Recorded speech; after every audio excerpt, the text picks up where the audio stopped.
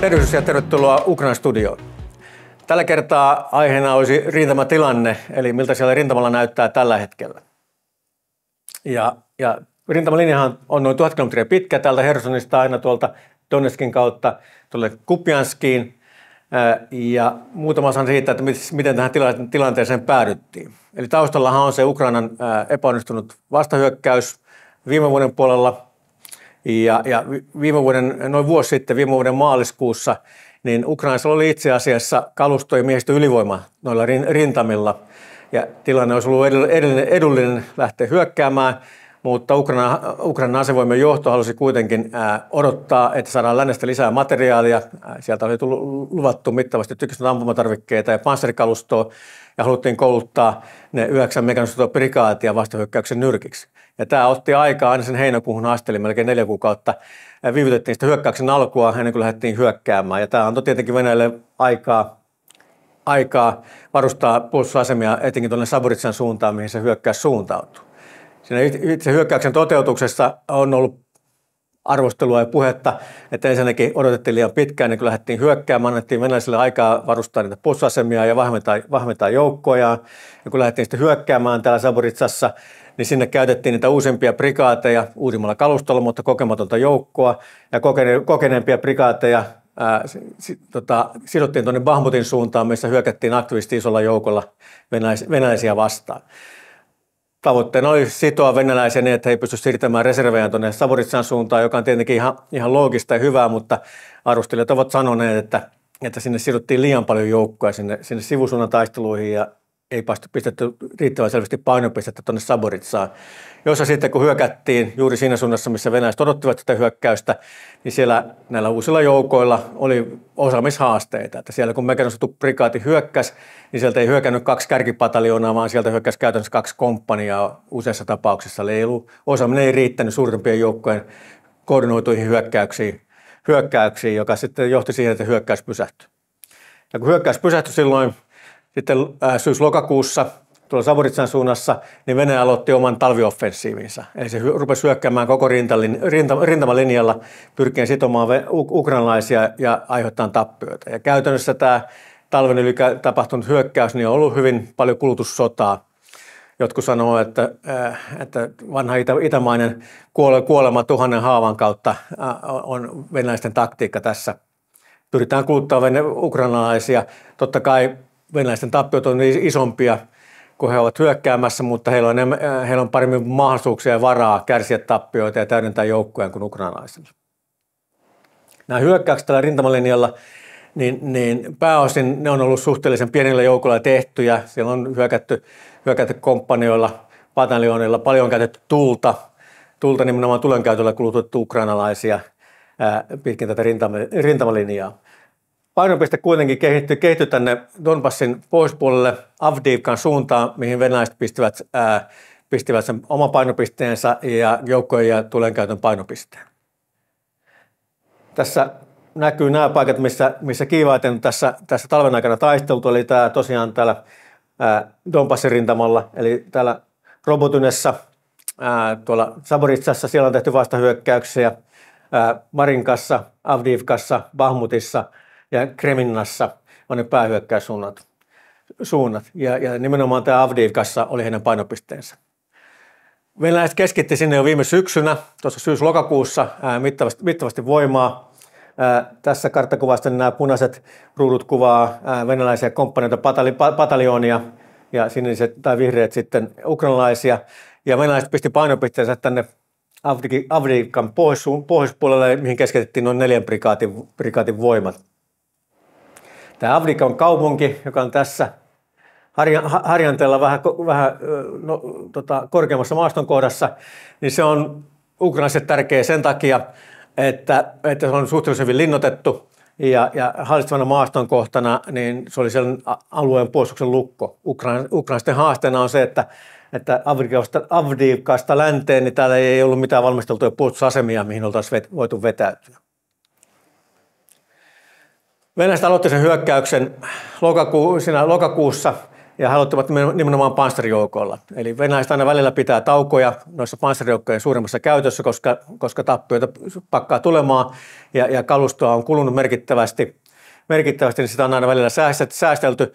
Lokakuussa hyökkäsivät sitten aktiivisemmin panssarjoukoilla, komppania, jopa patalainen hyökkäyksiä osittain, ja oppivat sitten kovan käden kautta taas saman asian, minkä ukrainalaiset oppivat Saborissan ää, omassa vastahyökkäyksessään, että hyökkääminen tuommoiseen linnoitettuun, postettuun asemaan, missä on, missä on sulutteita, miinoja, miinoja, missä vastustajalla on dronit ilmassa ja se näkee kaukaa jo sen panssarijoukkojen liikkeen ja pystyy sitten suuntaamaan sinne miinotteeseen pysähtyneeseen joukkoon omaa tykistön tulen käyttöään ja, ja käyttää droneja niitä pysähtynyttä joukkoa vastaan, niin aiheuttaa nopeasti tappioita. Ja venäläiset on menettänyt tässä lokakuusta tähän tammikuun loppuun asti niin, niin ää, vahvistettujen tietojen mukaan yli 200 taistelupanssarivaunua, yli 350 muuta panssariajoneuvoa, eli, rynnäkköjä ja kuutuspanssarivaunuja, jonkin verran muuta kalustoa, ja henkilöstötappiot ovat olleet suuria. Venäläisten omien tietojen mukaan jopa 16 000 kaatunutta ja pari yli, yli 20 000 haavoittunutta. Ja nämä suurin piirtein vastaa siitä, niitä tietoja, mitä läntiset tiedustelulähteet ovat arvioineet Venäjän tappioksi. Eli lähes kahden divisionan voimat on, on, on sille menetetty. Pääosa näistä panssarikalustatappioista tapahtui siinä hyökkäyksen alkuvaiheessa ensimmäisen kuukauden aikana, tai ensimmäisen kahden kuukauden aikana, ja sen jälkeen venäläiset tekivät käytännössä saman, mitä, mitä ukrainalaiset, eli siirtyvät jalkaväkitaisteluun, kun panssarikalusto oli menetetty liikaa. Tota, tämä Avdikaan hyökkäämisessä, niin venäläiset käyttää samaa taktiikkaa, mitä ne on käyttänyt monessa muussakin hyökkäyksessä. Lysintsanskissa 2022 ja, ja sitten tuolla Bahmutissa – Äh, Bahmutin taisteluissa. Eli, eli se kaupunkialueelle, niin sinne, sinne hyökätään, tehdään sitovia hyökkäyksiä ja pyritään tunkeutumaan sinne kaupunkiin suoraan, mutta päähyökkäykset kuitenkin on saarastavia hyökkäyksiä kaupungin pohjoista ja eteläpuolelta, millä pyritään nämä huoltotiet ottamaan tulen alle ja saartamaan ne kaupungin, kaupungin puolustajat. Ja tätä tosiaan on yritetty, yritetty ja tässä on käytännössä onnistuttukin sekä Lysintsanskista että Bahmutissa ja, ja pakotettu ukrainalaiset vetäytymään siinä vaiheessa, kun se saarastusuhka on liian suuri. Ja, ja ukrainaisten kannalta tosiaan tästä Avdiivasta länteen, niin ei ole mitään puolustusasemia. Täällä, täällä Komus Hivkan tasolla, tas, tasalla menee jokilinja, ja, ja se joki, jo, jokilinja tarjoaa ukrainaisille hyviä puolustusmahdollisuuksia, ää, ää, tota, jos Avdikan puolustus olisi romahti, niin kuin sitten romahtikin. No, niin kuin sanottu, ää, suurten vaunutappioiden jälkeen, niin loppuvuodesta venäläiset, viime vuonna venäläiset siirtyi sitten jalkaväkitaisteluun, eli hyökättiin taas jalkavä, jalkaväellä pieninä, pieninä ryhminä. Semmoisia joukku, joukkueen, joukkueen kokoisella osastolla hyökättiin ja, ja tykistötulen turvin ja kulutettiin niitä ukrainalaisia. Kärsin tietenkin suuria tappioita, mutta niin, kun sanottu, niin ukrainalaisetkin myös, myös siinä kuluivat. Se, mikä, mikä sitten korostui tässä tammi-helmikuussa, ja, ja varsinkin ukrainalaiset on sanonut, että, että oli yksi suuri syy, minkä takia se puolustus, puolustus niin, tota, romahti, oli tämä, mitä aikaisemmin oli mainittu, venäläisten ilmatoiminta. Eli venäläisillä on mittava määrä ää, vanhoja rautapommeja tuolla varastoissa, lentopommeja, 255 jopa 1000 kilon lentopommeja, joihin sitten pistetään siivekkeet, ja ohjausjärjestelmä GLONASSin turvin ne, pysty, ne pystytään sitten suuntaamaan sieltä 450 kilometrin etäisyydeltä voidaan pudottaa ja, ja ne liitää sitten maaliin joidenkin metrien tarkkuuksilla. Ja ukrainaisten ilmoitusten mukaan niin pahimmillaan tuossa tuossa helmikuun alkupuolella, niin parissa päivässä saattoi tulla useampia satoja lentopommeja heidän asemiinsa, aiheuttaa mittavia tappioita. Ja, ja venäläisten, äh, ukrainaisten mukaan, niin, niin venäläiset näillä jalkaväkihyökkäyksillään pakotti ukrainaiset paljastamaan asemaansa, ja sitten niihin paistettuihin asemiin suunnattiin sitten tota, liitopommihyökkäyksiä. No lopputulema oli se, että tuossa helmikuun 17. päivän tienoilla niin venäläiset pääsivät läpimurtoon siellä pohjoisessa, missä heidän painopisteensä oli, ja, ja pystyvät tunkeutumaan tänne, tänne Afrikan länsipuolelle.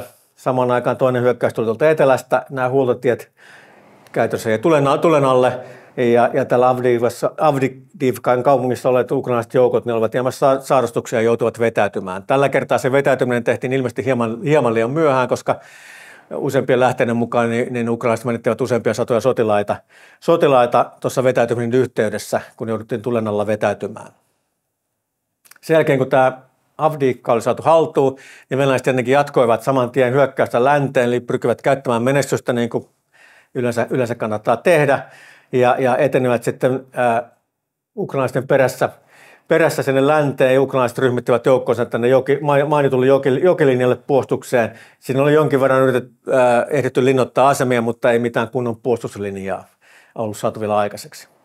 Ja, ja tota, Ukraina, venäläiset, jotka sitä suoraan liikkeestä pyrkivät jatkaa hyökkäystä, niin pääsevät siinä ilmeisesti just maaliskuun ensimmäisenä päivinä jopa osittain tunkeutumaan parissa kohtaa sinne jokilinjan, jokilinjan ylitsekin, mutta ukrainalaiset sitten toteuttivat reserveillään sen alueelle siirtyillä prikaatilla vastahyökkäykset ja kykenivät työntämään venäläiset takaisin sinne jokilinjan itäpuolelle ja osittain, osittain jopa ottivat sieltä sillanpääaseman haltuun sieltä jokilinjan toiselta puolelta. Ja käytännössä venäläisten hyökkäys nyt on pysähtynyt, pysähtynyt tänne jokilinjalle. Täällä Donbassissa niin, niin tota, kaiken kaikkiaan niin venäläiset ovat olleet aktiivisia ja kun tämä hyökkäys, hyökkäystä pysähtyi siellä Avdikan suunnassa, niin, niin venäläiset ovat pistäneet painopisteen tänne Marinkaan suuntaan, missä he ovat kyenneet jonkin verran etenemään viime päivinä. No, mitä sitten venäläiset pyrkivät tällä saamaan aikaiseksi tässä, tässä tämän vuoden aikana ja, ja tämän talvioffensiivin jatkona? Ää, tässä on, niin kuin, olen aikaisemminkin sanonut, että venäläisillä on niin kuin useampia päivämääriä varmaan, joilla on merkitystä. Yksi on tietenkin nämä, nämä aivan lähiaikoina tässä viikon parin sisään olevat Venäjän presidentinvaalit. Niitä ennen piti saada voittoa. Nyt saatiin Avdika vallattua. Siitä varmasti hyödynnetään kovasti propagandassa, että, että tota, presidentti kun menee tota, vaalikampanjassa, niin voi kehua, että, että sota menee hyvin ja taas on yksi, yksi kaupunki Ukrainasta vallattu rospuuttoaikaa sinne iskemässä, iskemässä kevään tullessa ja maasto menee pehmeäksi, jolloin sitten suurimmat ainakin megasodut hyökkäykset, niin, niin vähäksi aikaa loppuu. Hyökkäyksiä varmaan jatketaan edelleen jalkaväen, jalkaväen ja tykistön, tykistön turvin, mutta on odotettavissa, että, että loppukeväästä sitten kun maasto taas kovenee, niin Venäjä pyrkii aloittamaan uuden kesäoffensiivin ja jatkamaan hyökkäystään. Hyökkäystään pitää mielessä sen, että heinäkuussa – Washingtonissa on Naton 75-vuotisjuhla sam, sam, huippukokous, ja mikä sen parempaa venäläisille, jos jo pystyvät valtamaan uusia kaupunkeja Ukrainasta ja osoittamaan lännelle, että, että tota, heidän tuestaan huolimatta niin Ukraina pärjää taistelukentällä. Ja, ja painetta varmaan pyritään pitämään edelleen, edelleen läpi vuoden, koska tämä on se vuosi, jolloin Venäjällä on, on mahdollisuuksia saada ratkaisu, koska se on tällä hetkellä materiaalilta ja, materiaalilta ja henkilöstöltä ylivoimainen – ja, ja tota, pitää mielessä sen, että marraskuussa on Yhdysvaltain presidentinvaalit, ja jos tässä pystytään tämän vuoden aikana saamaan merkittäviä voittoja Ukrainassa, niin, niin toiveessa on, että seuraava Yhdysvaltain presidentti sitten olisi vähemmän halukas jatkamaan Ukrainan tukemista, jos, jos sillä ei näytä olevan merkitystä. Mutta tota, tosiaan painetta varmasti tullaan pitämään etenkin täällä Donbassin rintamalla kaikki, kaikissa suunnissa. Toistaiseksi he, he täällä etelässä Zaporitsan suunnassa on, merkittävästi päässeet eteenpäin, eivätkä myöskään tuolla pohjoisessa – pohjoisessa Kreminan tai, tai sieltä edelleen pohjoiseen Kupianskin suunnassa. Ää, mutta tavoitteena todennäköisesti on ottaa haltuun tämä Don, ää, oblastin eli maakunnan ää, alue. Eli, eli venäläiset ovat pystyneet Luhanskin maakunnan jo käytännössä ottamaan kokonaan haltuunsa, mutta tuosta Donetskin maakunnasta – niin, niin melkein puolet Ukrainan hallussa ja, ja tota, tämä on ollut jo pidempään tavoite, että, että, että molemmat, molemmat maakunnat olisivat täysin Venäjän hallussa. Eli sen takia hyökkäämään täällä, täällä, niin, niin pyritään todennäköisesti valta, valtaamaan ne alueet. Totta kai, jos hyökkäys menee hyvin, hy, hyvin niin tavoitteena voi olla aina edetä tuonne Dnieprille asti, että saataisiin nämä Ukrainan itäpuolisia alueita enemmän haltuun, ehkä jopa Harkovan, Harkovan haltuun ottaminen tuolla pohjoisessa. Sehän on Ukrainan toiseksi suurin kaupunki ja vain 40 kilometriä Venäjän, Venäjän rajasta. Nämä on varmasti Venäjän tavoitteita, mutta, mutta pystyykö se siihen on sitten toinen juttu, että, että kumpikaan osapuoli ei ole sotilaisten niin vahva, että pystyisi tällä hetkellä sotilaisen ratkaisuun. Venäjät todennäköisesti pystyy valtamaan uusia alueita, etenkin tuolla Don, Donbassissa, mutta semmoinen läpimurto, joka johtaisi siihen, että pystyisi etenemään tuonne Dniproon ja, ja Dnieprjoelle asti, niin ei ole vielä kauhean todennäköinen, varsinkin kun näyttää siltä, että, että nyt Ukraina on taas saamassa lisää tukea, eli sieltä on löytymässä lisää ampumatarvikkeita, tämä Tsekin presidentin 8000 granaatin hanke on, on ilmeisesti tuottamassa tulosta jopa lähiviikkoina. On arvioitu, että pari viikon sisäisellä rupeaa ampumatarvikkeita tulemaan niin, että Ukraina pystyy puolustamaan asemiaan paremmin. Ja sinne syvyyteen on aloitettu linnoittamishankkeita. linnoittamista, asemien linnoittamista tuonne syvyyteen, joihin tukeutuen voitaisiin pysäyttää Venäjän hyökkäys. Mutta palataan, palataan tähän rintamatilanteen sitten tarkemmin vielä tässä kevään aikana. Kiitos.